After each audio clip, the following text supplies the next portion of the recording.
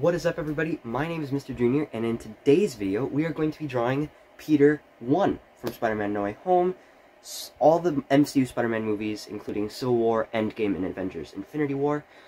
Uh, we're going to be drawing him today on my blank white wall, uh, which I'm going to be doing a superhero um, mural, kind of, along with some Star Wars things, like I want to do like Star Wars ships in the background, but right now, um, it's just a blank wall, you know, not much really to it.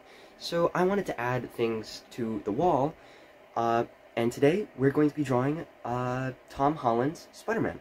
Right, not right here, but this is just a blank spot because I don't want to spoil um, the drawing because I've already done it. But I hope you guys enjoy because I've put tons of effort into these uh, drawings so far.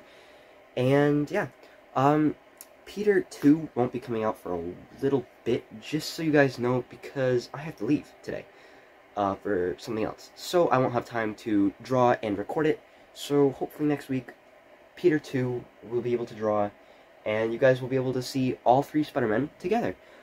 I hope you guys enjoy. Uh, this is Tom Holland Spider-Man.